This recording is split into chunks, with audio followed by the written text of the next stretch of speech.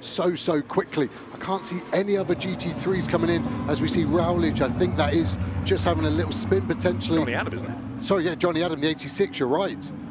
Has he got an issue? Can he get going? It looks like he's had a spin to me purely on the grass. Let's have a look. He was giving a bit of help, wasn't he? He's got Maxi Goetz behind him, and as they come through the corner, Maxi possibly got into the tail because bodywork flies. It looks like there was definitely, contact. Definitely. I mean, the splitter and diffuser uh, hit, and it's quite hard to see the bumpers, but that looked like he pushed him and then carried on pushing him all the way round. I think that will be a drive-through penalty. See Jonny Adam pitting straight away, hopefully just for tyres, as we see Andrew Howard getting in just as Hawkins handing over. Still wet on the rear, but I could hear some wheel guns rattling. So are they going to pit this lap?